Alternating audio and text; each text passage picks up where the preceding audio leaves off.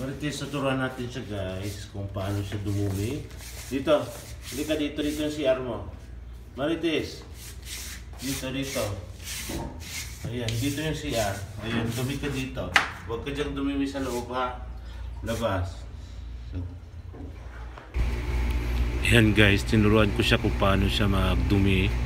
So ganyan lang po yan, sa paturuan natin sila, lalo pag bago yung pusa sa atin. Kasi para hindi siya magdumi sa loob ng bahay, dudumi sa ba loob ng kwarto natin sa bahay. So una po yan, pag bago yung pusa natin, so mahirapan po sila. So manibago po talaga sila kung saan sila dudumi. So kailangan natin i-guide.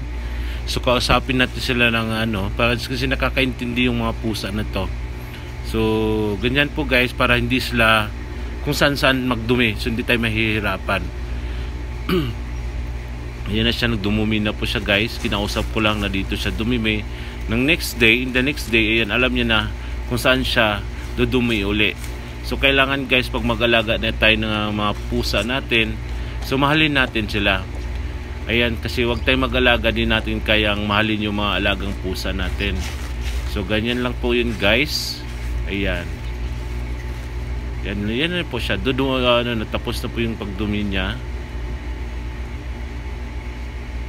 Ayan. I-guide lang natin sila ng maayos. Kausapin natin na nakakaintindi ang mga pusa, guys. Ayan, hindi po siya dumumi sa loob, guys. Kahit bago siya dito sa akin, ayan, bago itong alaga na, balagong alaga ko na pusa na yan. So, alam niya kung saan siya dudumi. Yan, ginamitan ko ng crystal, ano po siya, yung dumihan ng pusa. Yan, yan po yung ginamit ko. And guys, kung bago ka pa lang sa aking YouTube channel, huwag niyong kalimutan i-like and share and subscribe. Thank you sa lahat na nag-subscribe na aking YouTube channel.